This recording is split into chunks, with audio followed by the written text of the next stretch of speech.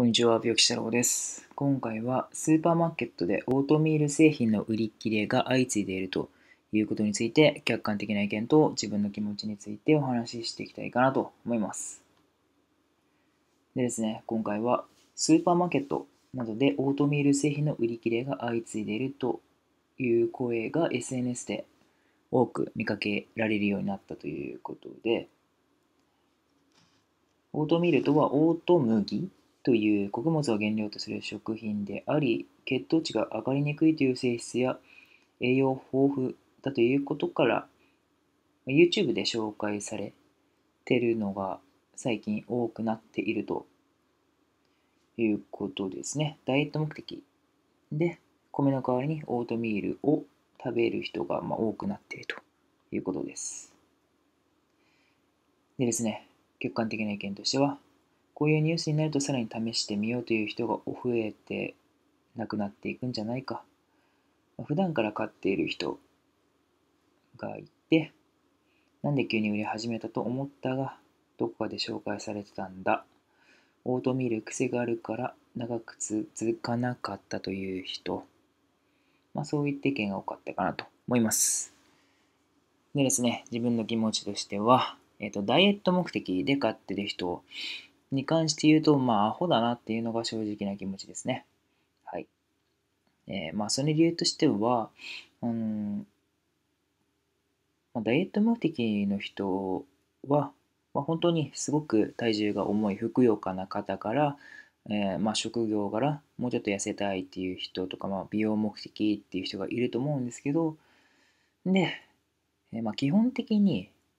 体重を落としたいっていう人は本当に何も食べなければ痩せます。なので、そのオートミールっていう製品を買う必要もないし、うん。まあ、ここで言う、まあ、食べたら飽きるっていうダイエット目的で、まあ、例えば何キロ痩せたいっていう人で、その体重を維持するためにあなたはずっとそのオートミールを食べ続けるんですかっていう話で、まあ、無理なんで、で、そこで、しかもそのオートミールただじゃないんで、その分のあのお金をずっと支払い続けなければならないということで、お金の無駄だし、っていうことで、何にもしなくても普通に何にも食べなければ体重は低くなります。まあ本当に普通にダイエットっていうか、体重をただ痩せたいっていう人はそれを試してみてください。で、本当にダイエットをしたいっていう人、あのその体を維持したいっていう人がいるとするならば、あの普通にあの筋トレっていうか運動して、で、えーまあ、タンパク質のある食事をして、まあ、筋肉を回復してっていうことをずっと心がけていれば、あの痩せやすい体になってくるので、えー